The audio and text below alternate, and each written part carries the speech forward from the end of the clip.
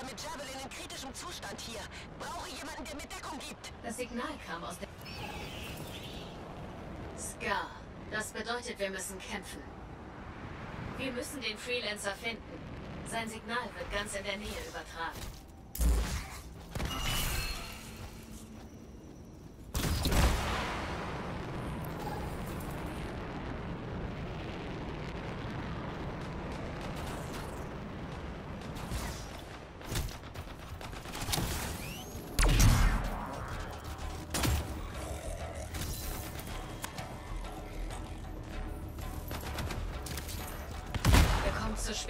Freelancer.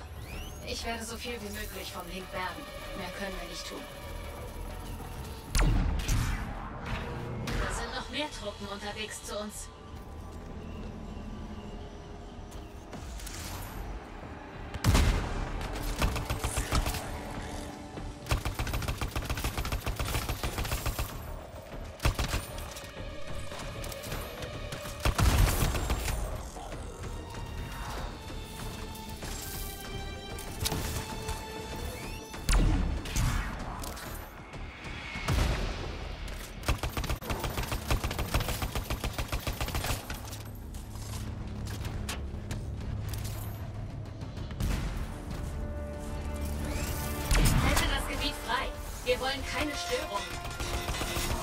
Geschafft. Weiter so.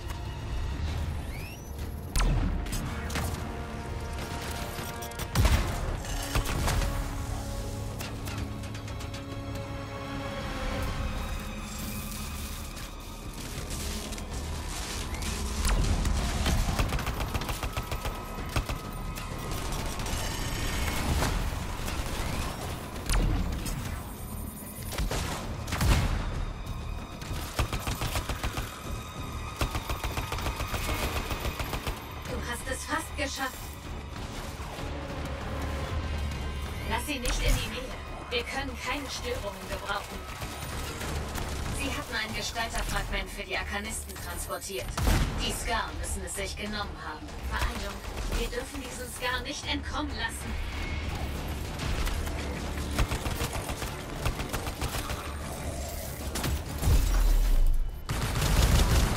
Ein Scar-Anführer weniger.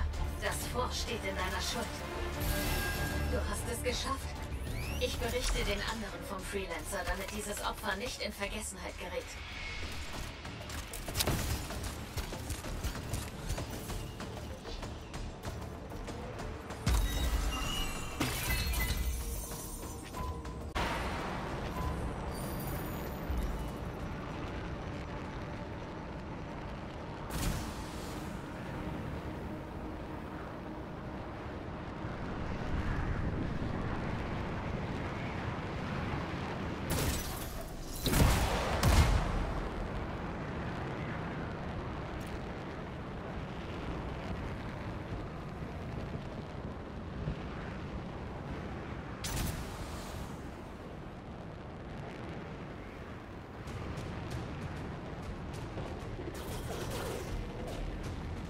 Ich empfange einen starken Anstieg von Gestalterenergie irgendwo in der Umgebung.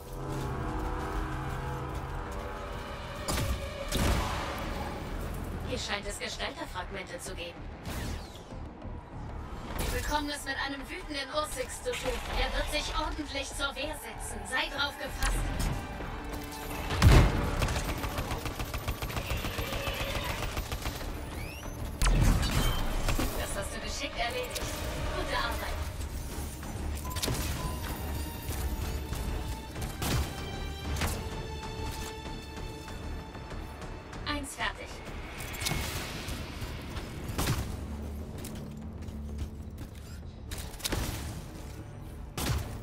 Weniger.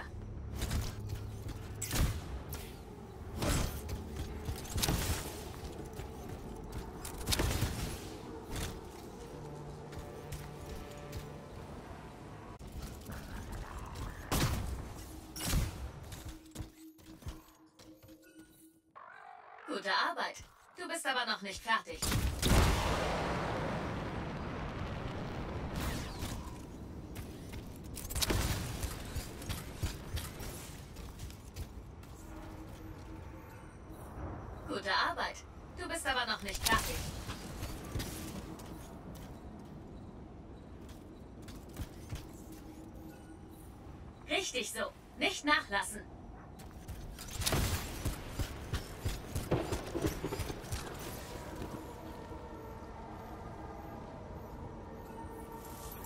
dann alle Fragmente. Ich informiere die Arkanisten darüber.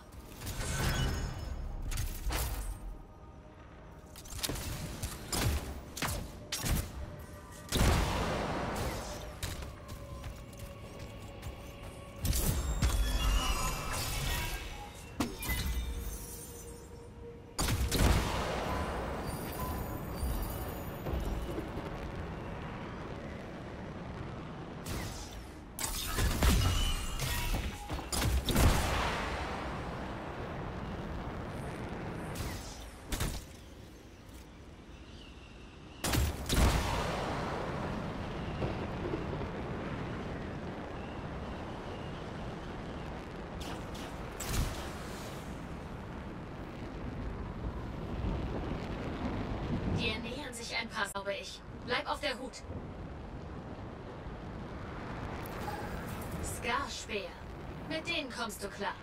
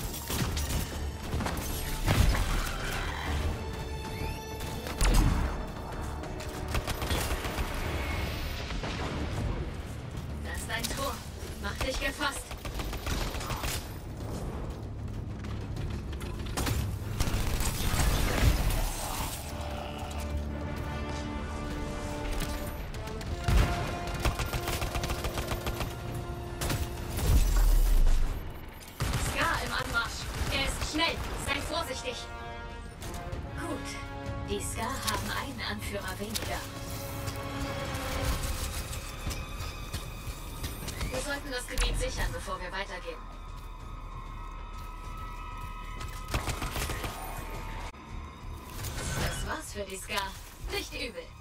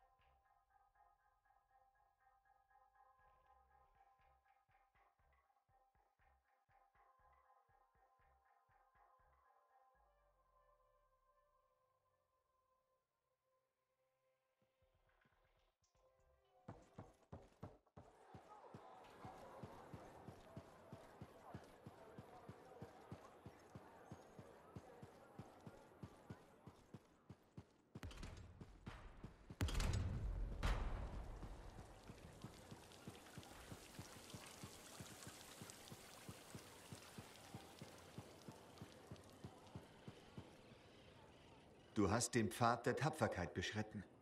Ich schätze, das ist inzwischen nicht weiter überraschend. Es wird Zeit, dir von den Anfängen der Freelancer zu erzählen. Mit Darren wurde von der Legion der Dämmerung aufgezogen. Er war dabei, als Tarsis den ersten Javelin ausprobierte. Er war an der Seite des Generals, als die Festung erbaut wurde. Verdiente sich seinen eigenen Javelin und kämpfte Seite an Seite mit ihr. Sogar bei der Schlacht um den Pass von Antium. Von den Gefährten, die an Tarsis Seite standen und die Urgoth zurückhielten, überlebte nur mit Darren.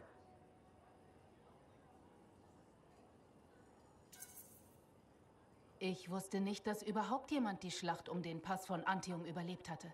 Das wird leicht vergessen, da die meisten Geschichten sich um den Tod des Generals ranken. In Trauer entzweite sich die Legion. Eine Hälfte folgte Magna Strahl, die andere Hälfte Arden Vasa. Und ein Legionär folgte niemandem. Mit Darren blieb in der Festung der Dämmerung, obwohl die Tore versiegelt und die Lancer für immer fortgegangen waren. Du sagtest, diese Geschichte handelt von Freelancern. Von uns war aber niemand in der Festung der Dämmerung. Natürlich nicht. Sie war fest verriegelt. Mit Darren war allein im Innenhof, als er in der Ferne ein Brüllen vernahm. Okay, schon besser. Er erinnerte sich an dieses Geräusch, denn es verfolgte ihn in seinen Träumen. Das Brüllen der Chimäre Zunderschlund. Das Monster, das ihm vor langer Zeit nachgestellt hatte. Dieselbe? Sie war immer noch am Leben? Sie war für mehr als ein Jahrzehnt verschwunden.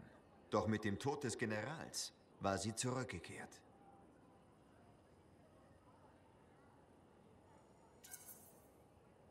Dieses Mal tritt er ihr entgegen und besiegt sie. Nicht ganz. Alleine hatte er keine Chance. Doch die Stadt Anscha lag hilflos auf ihrem Weg. Er hatte keine andere Wahl. Er fand die Spur der Chimäre und folgte ihr. Nicht zu dem Monster selbst, sondern zu seinem Hort. Denn er wusste, wenn er das Relikt eindämmte, das Zunderschlund geschaffen hatte, würde sie ihre Macht verlieren.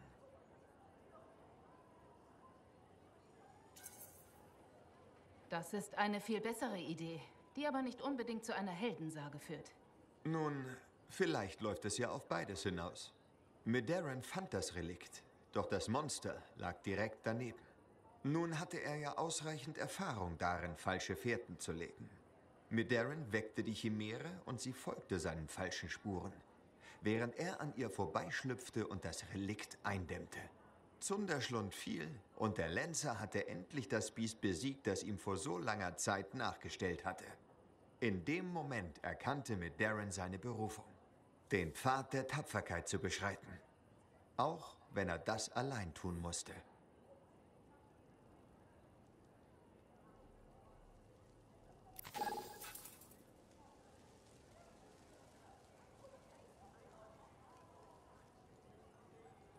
Magna Strahl war unter den Legionären diejenige, die für Heldentaten der Stärke bekannt war.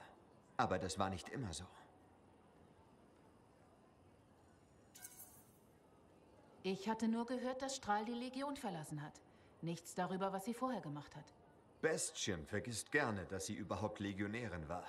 Und das Dominion, dass sie Fehler hatte und ein Mensch war. Aber sie war viele Dinge. Loyal und Deserteurin. Durchschnittlich und legendär. Sie kam als junges Mädchen zur Legion der Dämmerung. Ihr Dorf war überfallen und alle Bewohner entführt worden. Fast alle. Sie war so klein, dass sie sich in einem Korb verstecken konnte. Die Urgoth haben sie natürlich gewittert. Doch sie fanden sie zu schwächlich, um sie mitzunehmen. Ich hätte nicht gedacht, dass die Urgoth je Menschen bei ihren Überfällen zurückgelassen haben. In Geschichten ist die Rede davon, dass sie manchmal die Schwachen, Kränklichen und Alten zurückließen. Allein und unbewaffnet folgte sie den geheimen Arkanistenzeichen zum Sanktuarium, wo die Rebellen sich versteckten und Pläne schmiedeten. Dort flehte Strahl Tarsis an, sich der Legion anschließen zu dürfen, ihr die Chance auf Rache zu geben. Aber der General wies sie zurück. Sie sagte, Magna sei nicht bereit und schickte sie fort. Strahl konnte das nicht akzeptieren. Also zog sie alleine aus, um die Urgoth zu bekämpfen. Ohne Javelin? Das ist doch Wahnsinn. Sie stellte Fallen auf, legte sich in den Hinterhalt. Sie vergiftete Speere und Dolche. Sie nutzte mit Freuden jeden noch so kleinen Vorteil aus, den sie gegenüber diesem weit überlegenen Feind hatte. Sie wäre dutzende Male beinahe gestorben. Doch ihr Verlangen nach Rache trieb sie an. Und die Urgoth fielen. Sie schleppte die Trophäen zum Sanktuarium. Tag für Tag. Woche für Woche. Sie kämpfte auch dann, wenn die Chancen gegen sie standen. Darum ging es bei der Legion der Dämmerung. Schließlich sprach General Tarsis mit ihr. Was willst du? fragte sie. Ich will zur Legion der Dämmerung gehören, antwortete Magna. Tarsis sah sie an und fragte, Weshalb? Du hast doch deine Rache.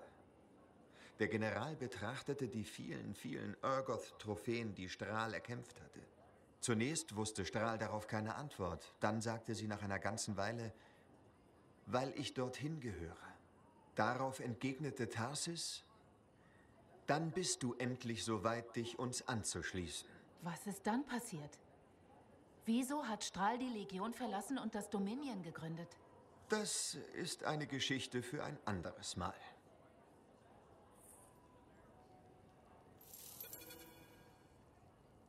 Was glaubst du, was du da tust? Du machst die Bücher kaputt. Hör sofort auf damit. Ich muss die Stelle markieren, an der ich bin. Keine Eselsohren in die Seiten machen. Benutze ein Lesezeichen wie zivilisierte Menschen. Lesezeichen fallen raus. Jonglierst du damit? Nein? Dann passiert auch nichts. Benutze ein Lesezeichen.